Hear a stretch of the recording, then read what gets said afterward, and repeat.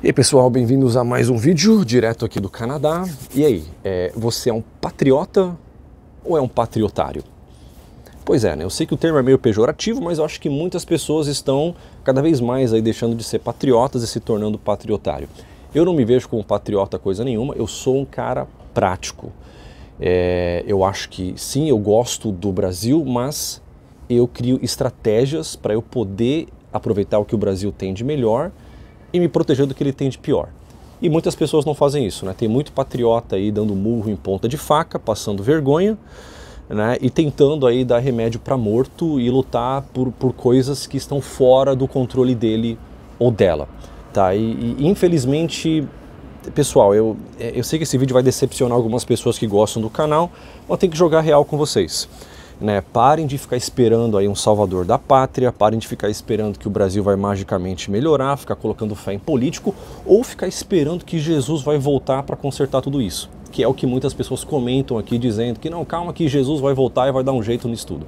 Pessoal, é, é sério, respeito que você tenha uma fé, maravilha, isso é muito bom, mas não fique esperando salvador da pátria que seja um político ou ficar esperando Jesus voltar, que não, não adianta, você tem que consertar a sua vida. É basicamente essa, essa mensagem que eu vou deixar nesse vídeo.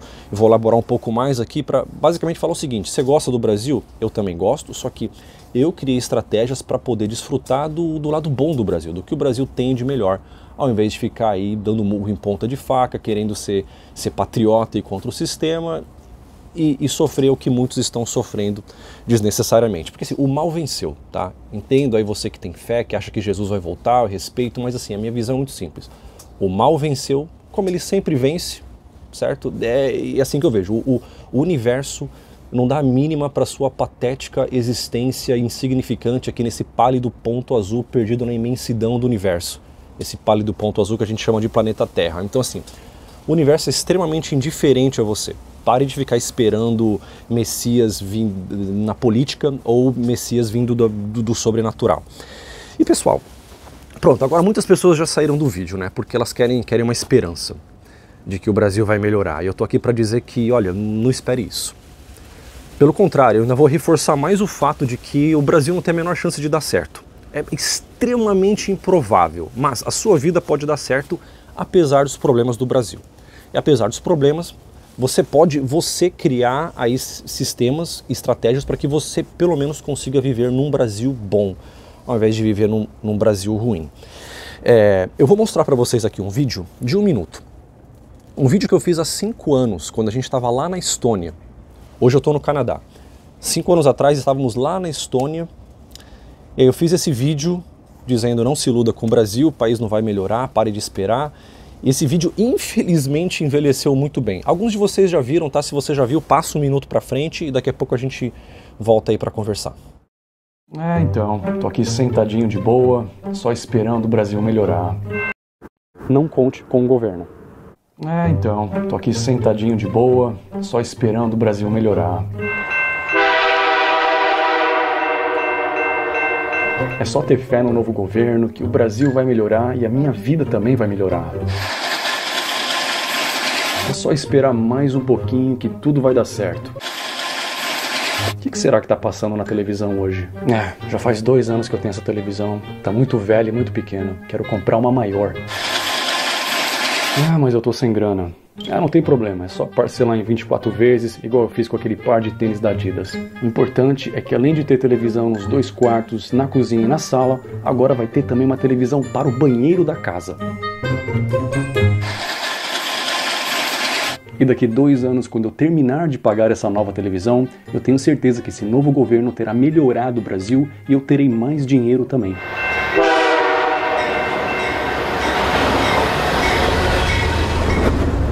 Ficar esperando que o Brasil melhore para que a sua vida melhore é igual você fazer desse confortável trilho a sua zona de conforto. Bem, pessoal, vocês devem imaginar o quanto que eu fui chamado de, de vira-lata aí nesse vídeo. Muitas pessoas comentaram aqui dizendo que ah, eu deveria ficar no Brasil e lutar por ele. Ah, veja só, eu sou patriota, eu estou aqui lutando por um, por um país melhor e você fugiu do Brasil. Cara, isso é argumento de patriotário. É sério, é, é um argumento extremamente burro, porque assim, a pessoa que comenta isso, ela, ela não parou para pensar na existência da internet, que é o que ela está usando para fazer esse comentário idiota. E assim, muitas vezes você saindo do Brasil, aprendendo outro idioma, vendo, conhecendo outras culturas e países, isso te torna uma pessoa mais capacitada para fazer alguma coisa pelo Brasil, que é um país carente aí de, de educação. É, e você pode fazer isso sem estar no Brasil através da internet. Ó, vejam só, eu estou aqui no Canadá, fora do Brasil, daqui um mês estaremos na Europa e depois sei lá onde. Eu estou aqui produzindo conteúdo que muitos brasileiros estão consumindo e estão transformando em alguma coisa útil para eles, né? Seja sobre aprender inglês, sobre ganhar dinheiro viajando, sobre é, ser nômade digital, se proteger do Brasil, ter conta em dólar, enfim, pessoas estão pegando esse conhecimento e aplicando e fazendo mudanças positivas na vida delas. Ironicamente, quando eles, esses brasileiros escutam aqui o, o, o, o, síndrome de vira-lata, né? Eles acabam criando a capacidade de desfrutar de um Brasil melhor. Porque se você ganha em dólar, tem sua conta fora do Brasil, você tira uma residência em outro país, uma, uma segunda cidadania se você tem direito, e você está protegido das mazelas do Brasil, você consegue viver num, num Brasil melhor, sem ser refém dele. E eu faço isso. Voluntariamente, pessoal. A gente viaja bastante, mas por livre e espontânea vontade, a gente volta para o Brasil para ficar meses. E a gente gosta. Porque é muito bom estar no Brasil, quando você não é refém do Brasil, quando você não é refém dele da parte jurídica, quando você está no lugar bom e não é refém da violência. Tá? é difícil, mas tem lugares no Brasil onde você não é refém da violência. Ah, quando você tem uma segunda cidadania ou residência, você pode, a qualquer momento, dê uma louca aí, sei lá, algum político deu uma canetada, você pode vazar do Brasil no dia seguinte. Então, assim, dessa perspectiva, o Brasil é muito bom, é por isso que tem muitos gringos, muitos estrangeiros no Brasil e estão felizes. Eles estão protegidos do Brasil. Eles têm outra cidadania, outra residência, conta em euro, em dólar, certo? E eles escolhem um Brasil bom para morar. Então, assim, eu acho que muitos brasileiros podem aí aprender com esses estrangeiros e fazer o mesmo. Então, assim, esse argumento de ficar e lutar pelo Brasil não faz o menor sentido, é um argumento idiota, né? E outra, se você fizer isso, tá? Começar aí lutar pelo Brasil, bater de frente aí com, com o Xandão, com o comunista agora aí no, no STF, o que, que vai acontecer? Aí é que você vai ter que sair do Brasil mesmo, como muitos aí já fizeram, né? Muitos aí que são exemplos aí de, de patriotas, né? E aí? Tiveram que sair do Brasil. E muitos foram chutados do Brasil sem antes se internacionalizar, sem ir atrás de uma segunda cidadania, uma segunda residência, uma conta em dólar e perderam muito. Né? Então, aprenda com o erro aí desses patriotas, digamos, que tentaram bater de frente com o sistema e foram chutados do Brasil. Ou seja, é até mais seguro você estar fora do Brasil para você fazer alguma coisa por ele. Se você realmente quer criticar todo esse circo político aí, né?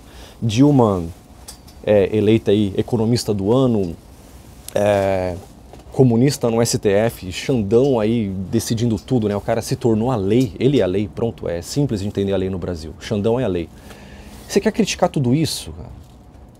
E estando fora do Brasil, com uma segunda cidadania, conta em dólar, falando inglês, se você quiser ter um canal em língua inglesa, você está mais protegido do que o cara que está aí é, tentando é, trocar tiro com o cara que está lá com. Você tem um exército com um fuzil apontado para você e você está lá com estilingue querendo bater de frente com os caras não é assim que se faz. Aí, ou seja, você, se você faz isso, você não está sendo um patriota, você está sendo um patriotário. Né? Eu acho que eu que inventei essa palavra lá em 2017, pessoal. Muito antes de eu conhecer Bolsonaro, muito antes dessa palavra ter uma conotação aí bem, bem política, né? de se tornar um termo pejorativo contra a direita. Né? Então, acho que a culpa, é, a culpa foi minha de ter inventado essa palavra aí na internet.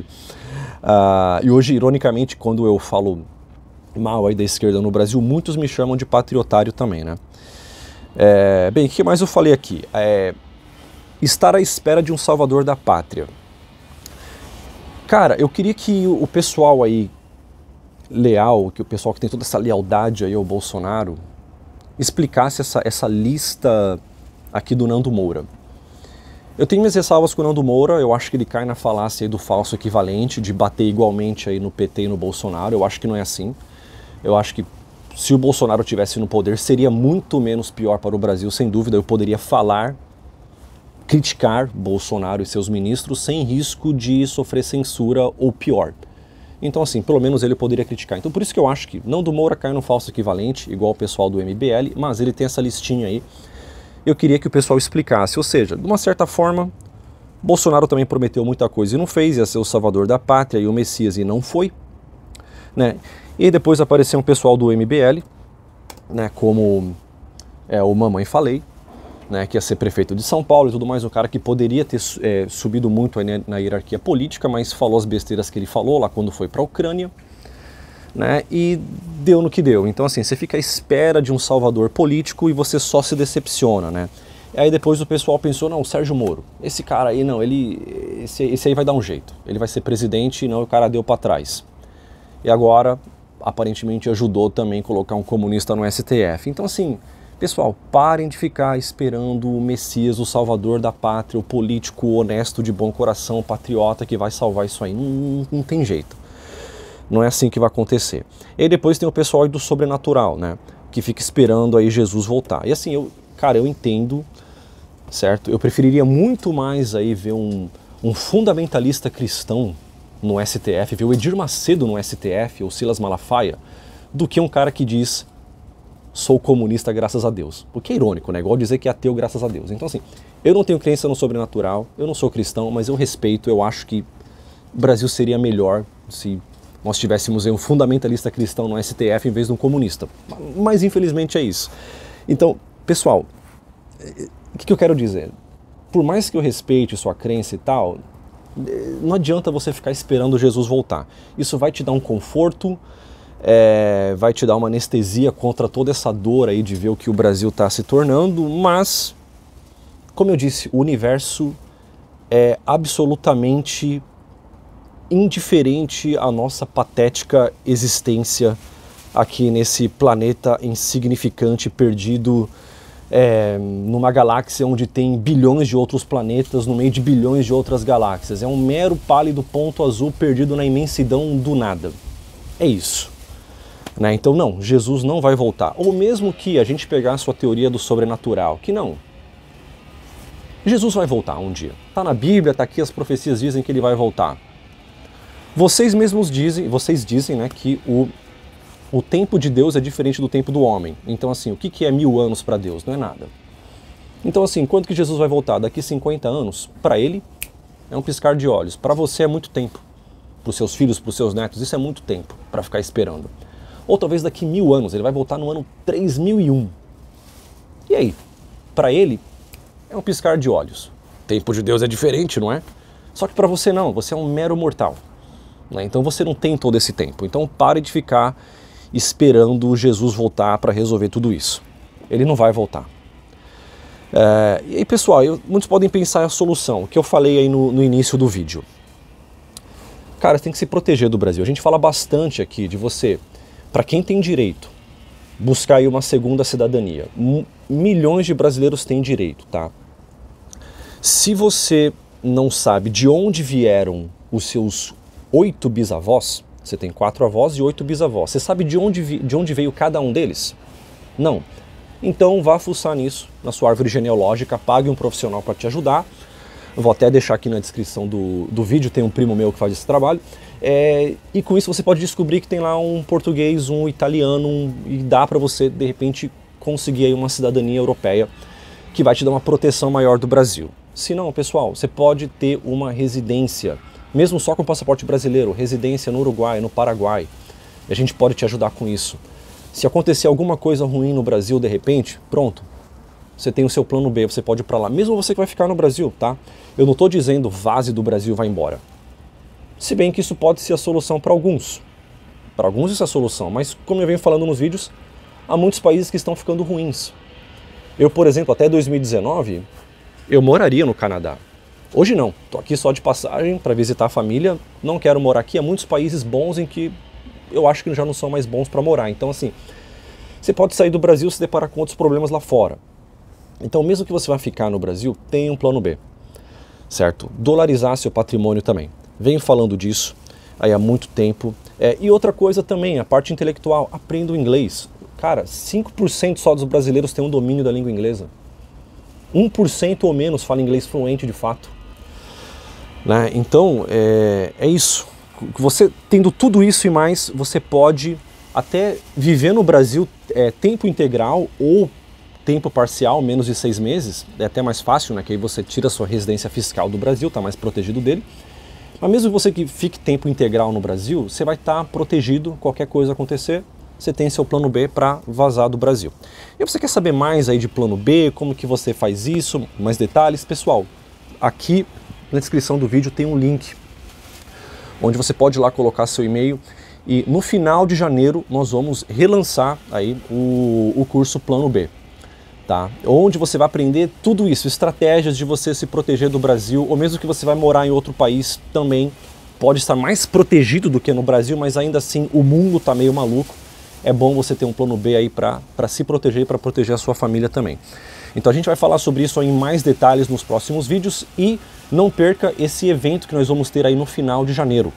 Tá? Eu sei que falta um pouquinho, mas entra lá no e-mail para você não esquecer. A gente vai te mandar uns conteúdos também falando sobre internacionalização, sobre se proteger e proteger sua família. E aí, quando o evento for marcado para o final de janeiro, a gente vai te avisar. Beleza? Então, pessoal, eu vou deixar aqui para vocês é, o vídeo completo, tá? Esse vídeo que eu fiz cinco anos atrás lá na Estônia, né? É, é, só clicar na tela agora e assistir, se vocês quiserem, mas não se esqueçam também de dar uma olhada nos links aqui na descrição do vídeo. Então, valeu pessoal e nos vemos no próximo vídeo.